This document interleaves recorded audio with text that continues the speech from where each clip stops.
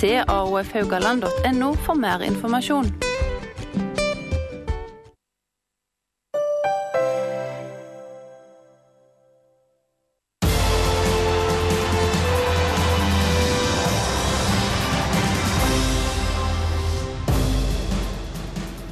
I vår serie om tilbakeblikk skal vi nok en gang ti år tilbake i tid. Her skal vi få møte komikeren Jostein Veding, en kjent og kjær lokal underholdningsartist. Slik så han ut da vi møtte han for nesten ti år siden.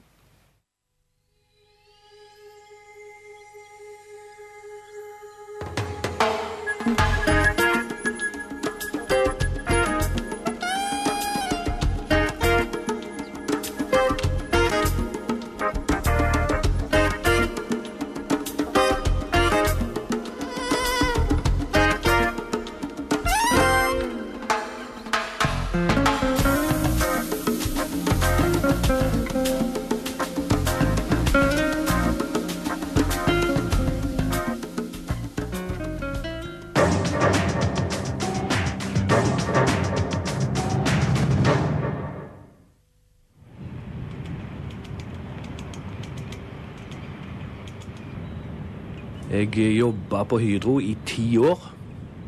1. august 1995 gikk ut av porten for siste gang.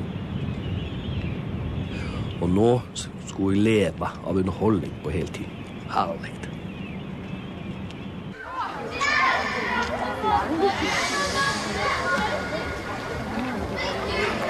Jo, bare vent.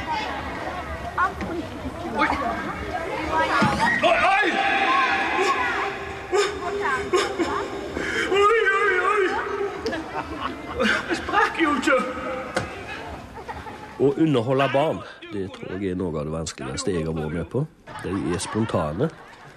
Og hvis du gjør noe feil der, så er det der med en gang. I motsetning til voksne, der er det stort sett ferdige tekster, og så du går rett på litt grovere skyts.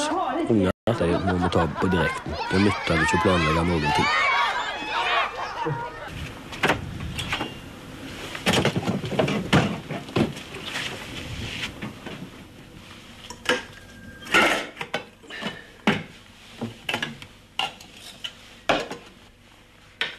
Og hvis det er noen som har bruk for klovn, så må dere bare ringe.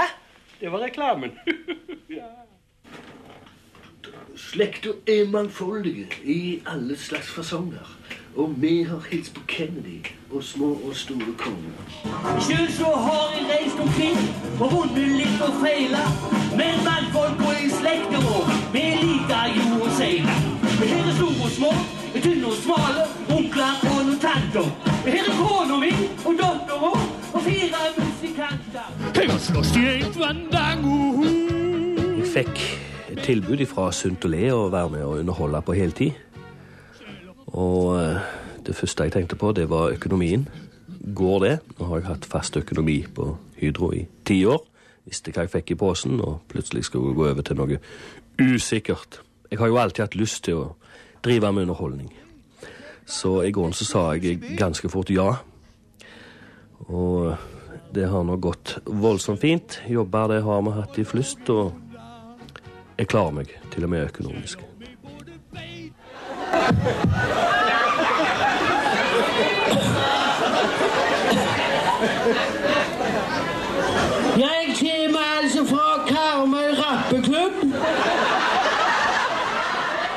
Sunt og ler. det er meg og Kurt Johansen, og vi reiser over hele Vestlandet, fra Kristiansund til Kristiansand.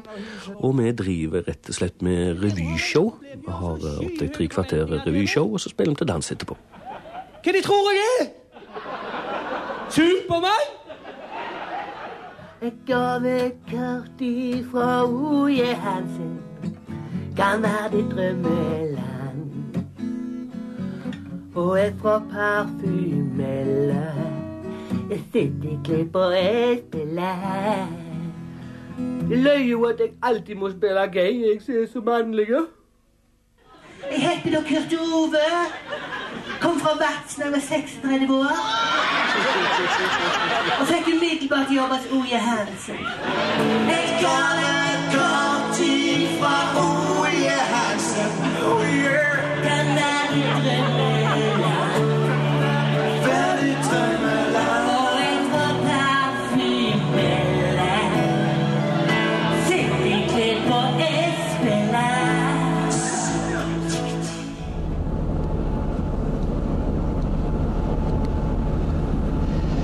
Er jeg ferdig med revyen i Haugesund, så nå er jeg på ferja på vei over til Stord. Jeg skal være med på sommerrevy der for første gang.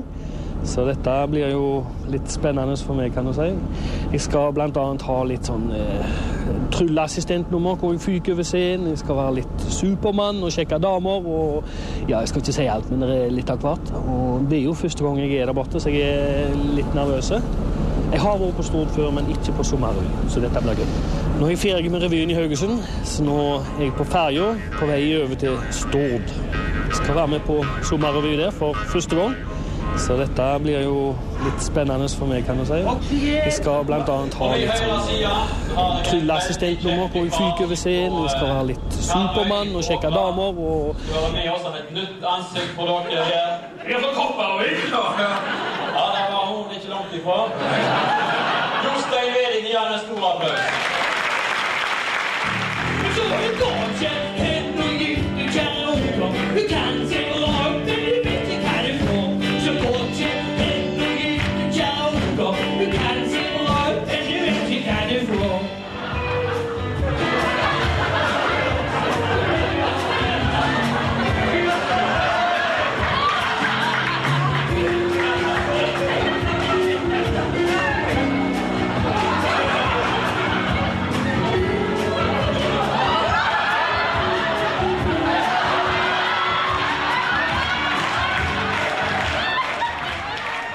Føler du nå? Akkurat nå føler jeg akkurat et vulkanutbrudd. Kjekt, dette. Ja, Det var et gjensyn med Jostein Vedig. Husk å tipse oss om saker du mener vi bør ta opp i 1730 direkte. I morgen får vi besøk av advokat i Spør eksperten. Har du spørsmål du vil at vi skal stille, send det på mail til hjelp krøllalfa tvhaugaland.no. Vi er i mål med dagens sending. Vi er tilbake igjen i morgen. På gjensyn da.